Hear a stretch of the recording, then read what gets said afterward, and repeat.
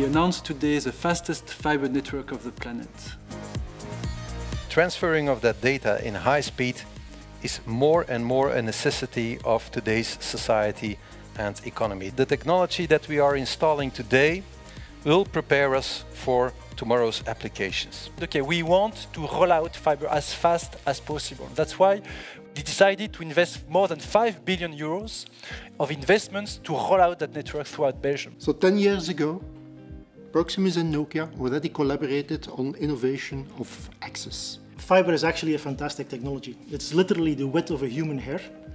And by using different wavelengths, different colors of light, and by add or by increasing the speed at which you transmit data over each wavelength, you can basically keep increasing the speed of a fiber network.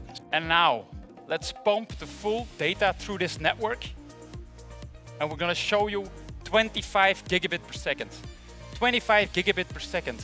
This is where we connect everything and everyone.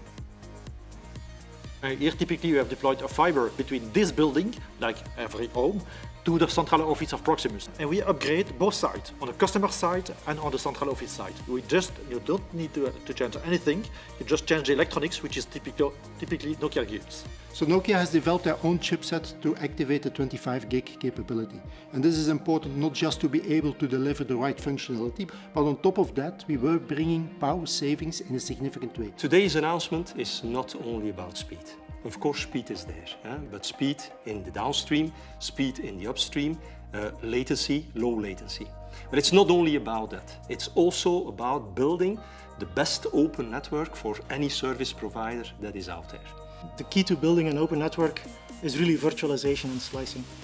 Different slices on a network can be used to deliver different services. These different slices can also be used to allow other operators to deliver their services over your network infrastructure. And fiber network is here to stay. Uh, we are building that network for the next 80 years. 25 gig is a tremendous amount of bandwidth for a broadband network.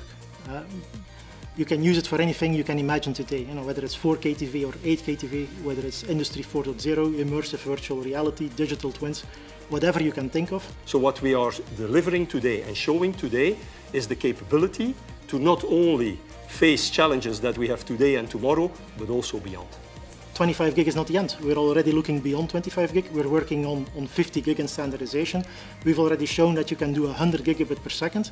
The network we're putting in place is long lasting. It's for several uh, generations, maybe till eternity.